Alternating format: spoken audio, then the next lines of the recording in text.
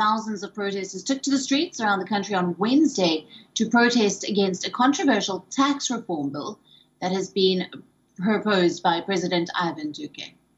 Now, the indigenous protesters faced off with police in the Colombian city and uh, this of Cali during uh, thousands of protesters nationwide to demonstrate against the government tax reform.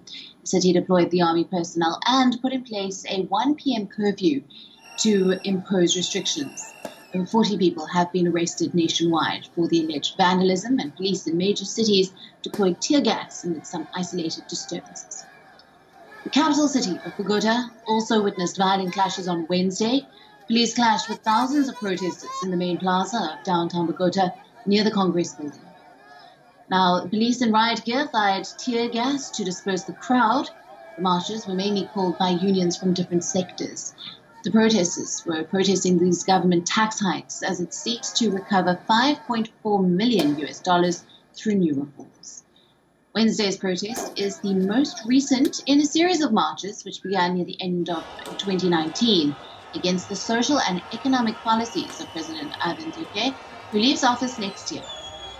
Now, in a national address, Duque denounced the violence and said that large crowds were exacerbating the pandemic. Y la violencia no nos va a resolver ninguno de los retos que tenemos que enfrentar como país. Aquí no hay caprichos, aquí no hay posiciones tosudas, tercas.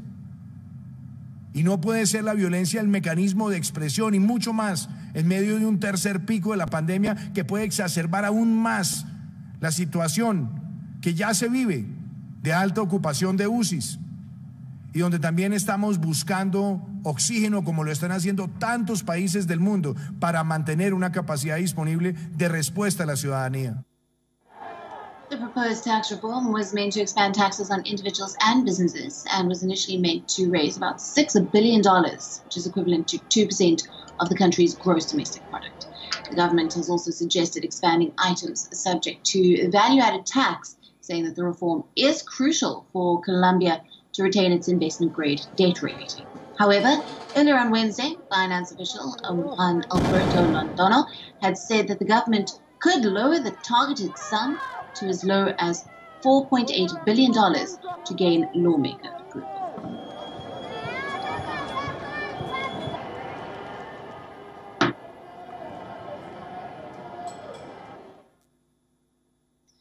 We are now available in your country.